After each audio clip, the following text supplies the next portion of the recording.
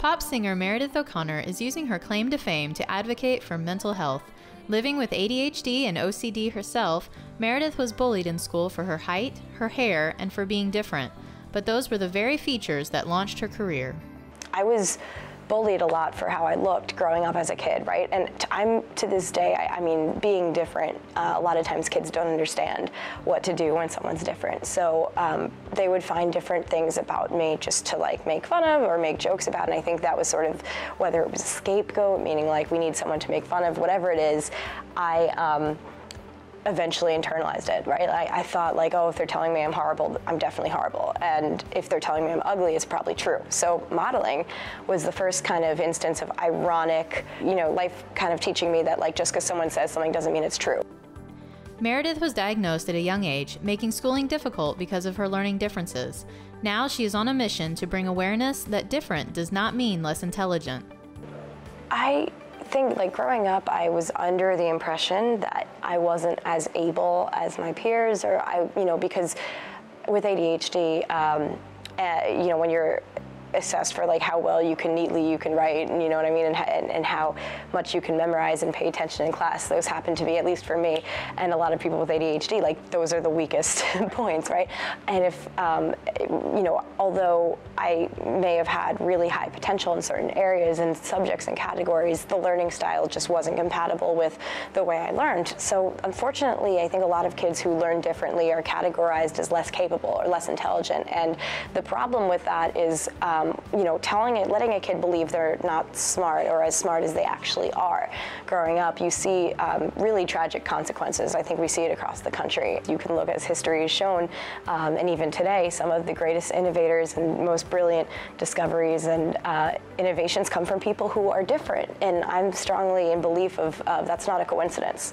If I listen to um, the way the current system is right now, K through 12, I would have believed that I wasn't smart.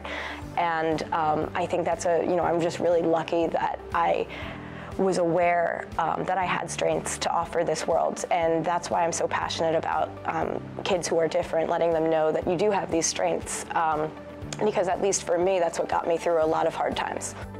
Meredith transitioned from a model to pop singer when her first hit song, Celebrity, went viral in 2013.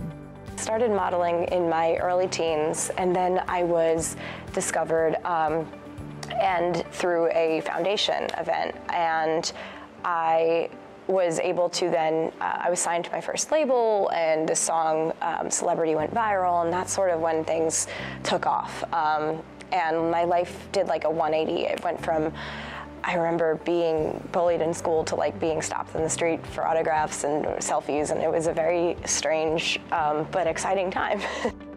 Today, Meredith is still performing and has even co founded her own record label.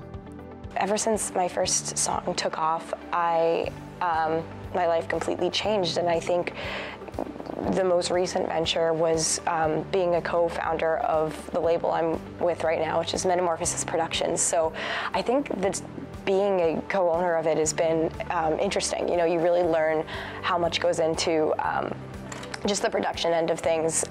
One of her latest songs, You Are Not Alone, sums up the message that Meredith has for those with learning differences. So when I had this following, I said, what if I am able to, um, like for the few kids out there that may be getting bullied, maybe I can help them feel better. Like maybe I can be that role model for them. And um, I saw it really just as my chance for that. I was told that I'd only, my fame would only last for 15 minutes because again, this was a YouTube video and we all know the model of the music industry now. Um, so I sort of said, like, if that's going to happen, I may as well just put this message out, see who it helps.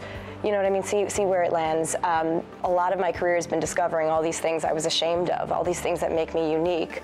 Um, they're actually, they're actually things to, to cherish, and I get really um, passionate about kids who don't know that because I really want them to know that, so they don't have to go through that pain.